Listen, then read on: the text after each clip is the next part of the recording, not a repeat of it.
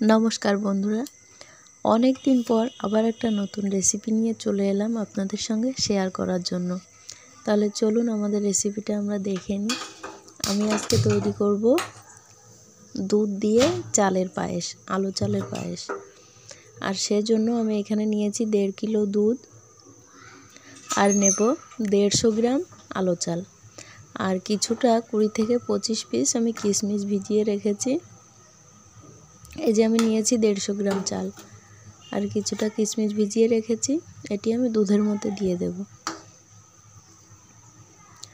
এবার কিশমিশটাকে ধুয়ে আমি দুধের মধ্যে দিয়ে দিচ্ছি।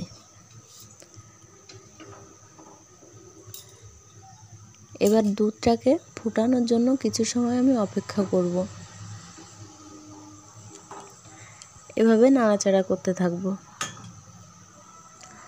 আর পায়েসের মধ্যে চাইলে কিন্তু তেজপাতা বা এলাচ এরকমই গন্ধ জাতীয় কিছু দেওয়া যায়। তো আমি এলাচ দেব না, আমি কিছুক্ষণ পর তেজপাতা দেব। দুধটা যখনই ফুটে উঠেছে, দুধের মধ্যে আমি দিয়ে দিয়েছি চাল। দেড়শো গ্রাম আলো চাল নিয়েছি, সেই চালটি দিয়ে দিচ্ছি। দিয়ে এবার খুব ভালোভাবে নাড়াচাড়া করতে থাকব। বারবার কিন্তু এটিকে নাড়িয়ে দিতে হবে, নাহলে তলায় লেগে যেতে পারে। এভাবে হালকা হাতে বারবার আমি নাড়তে থাকব। আর আমার যে বন্ধুরা আমার ভিডিওগুলো নিয়মিত দেখেন, আমি তাদের কাছে খুব কৃতজ্ঞ যে আমি অনেক দিন ভিডিও ছাড়তে পারিনি। আমার ব্যক্তিগত কিছু সমস্যার জন্য তো আমি চেষ্টা করব এখন থেকে কন্টিনিউ ভিডিও দেওয়ার। এরকমই প্রায় পাঁচ মিনিট জাল হওয়ার পর আমি দিয়ে দিচ্ছি তিনটে তেজপাতা। দিয়ে আবারও খুব ভালোভাবে নাড়াচাড়া করছি।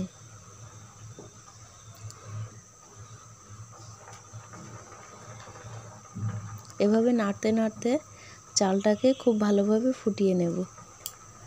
আমার যে বন্ধুরা আমার চ্যানেলটিকে সাবস্ক্রাইব করেছেন, তাদের কাছে আমি খুবই কৃতজ্ঞ আর তাদের কাছে আমার অনুরোধ যে আপনারা প্রচুর পরিমাণে আমার ভিডিওগুলো শেয়ার করুন। এবার কিন্তু আমি তুলে দেখছি যে চালটা প্রায় সেদ্ধ হয়ে গেছে।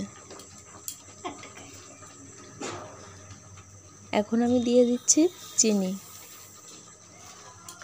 যে পরিমাণ আমি চাল নিয়েছিলাম, সেই পরিমাণ চিনি দিয়ে দিচ্ছি। দিয়ে খুব ভালোভাবে মিশিয়ে দিচ্ছি। আর সামান্য পরিমাণ দিয়ে দেব, তিন থেকে চার চা চামচ মতো দিয়ে দেব কিন্তু মধু।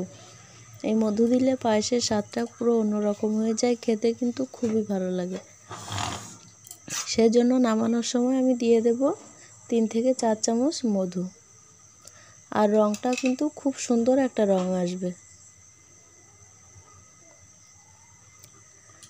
তাহলে এইভাবে ঝটপট তৈরি হয়ে গেল কিন্তু আমাদের পায়েস বা পরমান্ন। আমি কিন্তু এখানে লবণ ব্যবহার করিনি, যেহেতু এটা আমি আমাদের গোপালের জন্য রান্না করেছি সেজন্য।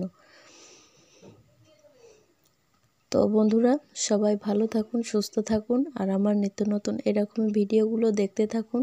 আমার চ্যানেলটিকে খুব শীঘ্রই সাবস্ক্রাইব করুন। সবাই নিত্য নতুন রান্নাবান্না করুন আর খাওয়া দাওয়া করুন। আমার চ্যানেলটিকে অবশ্যই কিন্তু সবাই দেখতে থাকুন। দেখা হবে আগামী কোনো একটি ভিডিও নিয়ে। আবারও চেষ্টা করব কোনো নতুন ভিডিও নিয়ে আপনাদের সঙ্গে শেয়ার করার জন্য। আর আমার চ্যানেলটিকে দয়া করে সবাই সাবস্ক্রাইব করুন। আর পাশে থাকা বেল আইকনটি বাজিয়ে দিন আমার নিত্য নতুন রান্নার কিছু কিছু ভিডিও পাওয়ার জন্য। রান্নাটা কিন্তু আমার হয়ে গেছে। এখন আমি গোপালের জন্য তুলে নিচ্ছি।